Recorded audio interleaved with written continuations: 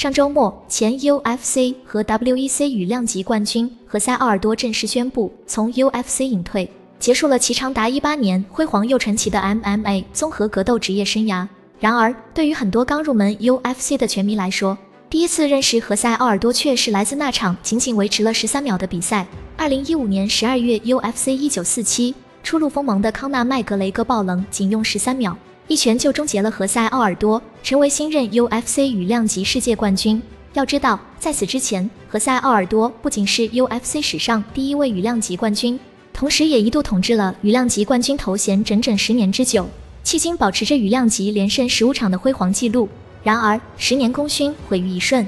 回顾何塞·奥尔多整个职业生涯，也就是这短短的十三秒，让他从生涯巅峰直接跌落到谷底。此后的七年时间里，何塞·奥尔多的职业生涯再也无法回到曾经的状态。七场羽量级比赛中，何塞·奥尔多就输掉了四场，一度在2016年战胜过埃德加，赢得过临时 UFC 羽量级冠军，但马上又遭到了麦克斯比霍洛威两次毁灭性的 KO 打击，再一次失去冠军头衔。2019年，面对无法跨越的麦克斯比霍洛威，无奈之下，已经迈过而立之年的何塞·比奥尔多选择了更痛苦的降重。来到竞争还不算残酷的雏量级，但接连的失利不但没有让何塞·奥尔多摆脱阴霾，反而是跌入泥潭后的越陷越深。今晚二十二点半，青海卫视龙斗之 UFC 将为大家带来 UFC 两百七十八期数字赛，压轴大战将是一场男子雏量级比赛，由何塞·比奥尔多迎接排名第六位的梅拉布·彼得瓦利什维利挑战，这也是何塞·比奥尔多留在八角笼中的最后一场比赛。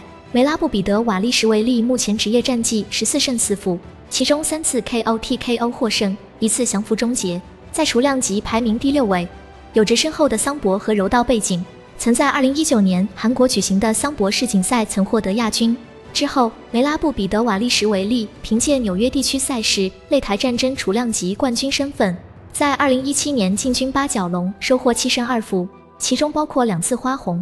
虽然梅拉布彼得瓦利什维利相比于何塞比奥尔多在八，今天的节目就到这。如果您喜欢我们的节目，欢迎点击右下角订阅收藏不迷路。